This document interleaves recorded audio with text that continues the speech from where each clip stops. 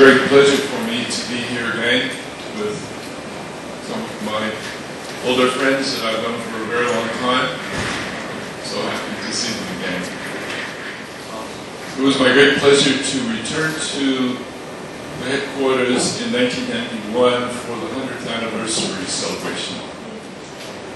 So for today, I would particularly like to thank Kim Sang-ho for inviting me to come here, and I would like to thank my translator, Lee Young-ju, for doing such hard work for me. I don't know if you remember in, in the 100th anniversary, there was uh, a halo around the sun. Do you remember that day? Well, I still have my picture taken that day of the sun. I'd like to say that the 21st century is bringing with it many great challenges to the world. And the changes are happening so fast that we hardly know how to handle one situation or a completely new situation that is. Those of you in this room who are in positions of leadership in, in the Won tradition are going to be called upon to respond to our current world and to prepare us for future developments. This is a heavy responsibility because, as I was saying to the master today, it's a difficult task to predict the future. I think we always feel that our time is the most difficult and that we have problems which nobody has ever faced before. But I think back to 1916 or 1915 when the Won tradition was being established by Master Sotaesan.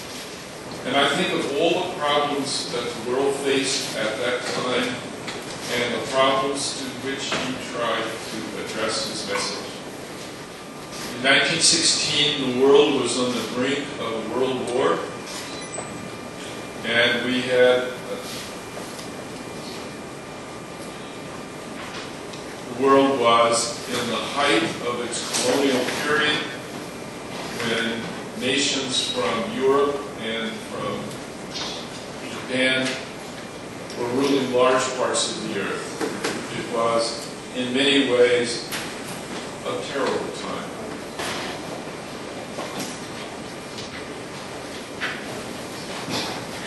When I showed this picture of the Empire of Japan, for example, Many of my students are shocked.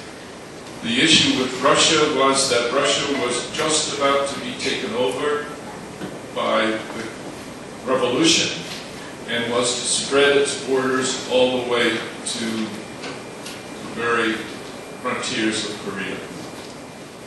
And even though he was here, the Industrial Revolution was primarily occurring in Europe parts of Japan, he saw the dangers of it. And he saw the problem of people becoming so tied to the products produced by the Industrial Revolution that they would lose their spirit. So the Won Buddhist tradition started here in this part of Korea. It was an attempt to help people earn their living, grips with the problems of everyday life. And it was filled with new innovations about farming, about religious life. It was a major development at this, that particular time in the world. So when I think about Master Sotaesan and I think of what he faced and what he was trying to address, we cannot feel that what we face today is so much more complicated, so much more difficult than what he faced. Basically, it isn't. It was complex. The world was in terrible troubles. It was, it was a very difficult time. It would be his destiny, as for many of you here, to see the world torn apart by even more destruction in Asia and Europe as the Second World War descended upon us. The first war should be fully fought with industrial technology weapons. And we'll have to write, why is it that in the 20th century millions of people were killed because people in the 20th century did not know how to solve their problems peacefully. We have reached a place where our consumption of the world resources has reached a level that appears to be unsustainable. Whole world economies at the moment are faced with a future that is very uncertain at the best.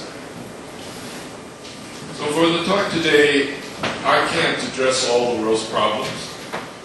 But what I would like to do is to look back to the words of Master Sotaesan and ask myself the question, were his words and thoughts that were addressed to 20th century problems in any way applicable to the problems that we face in the 21st century? I think that we have to recognize that we are in the midst of a great technological shift that's changing the way we communicate with one another. I'm here using my little computer.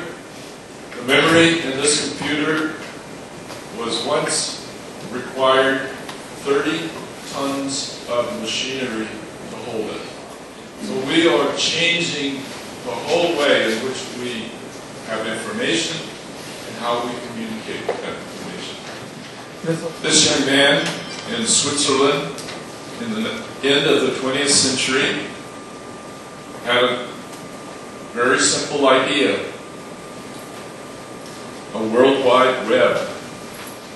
His idea did not take many decades to realize. Within three months of his first software, it was found in most of the major places of the earth. Within Oh. three months. And within three years, the World Wide Web was found in every city on earth.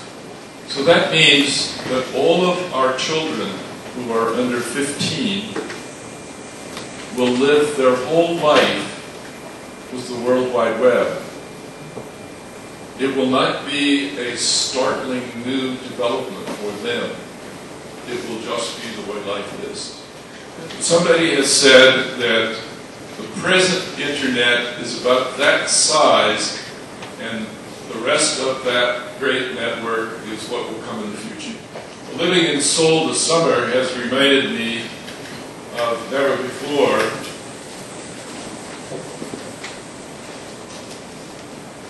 exactly how enormous this network is. This is an actual map. You can't see it very well, but it's an actual map of all the connections through fiber optic cable around the world.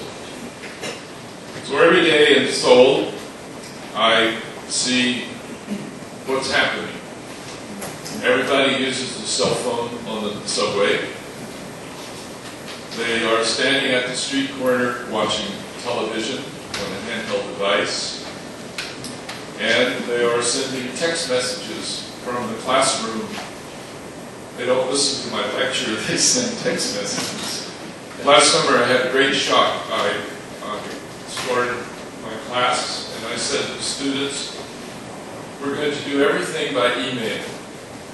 You're going to send me your paper, and I'm going to send you my response, and we'll do it by email. I realized the students were very unhappy, and they were restless, and finally one of them raised, one of the boys raised his hand, he said, Professor, we don't do email. I said, what do you mean you don't do email? Everybody does email. Oh, our parents do email, and our grandparents do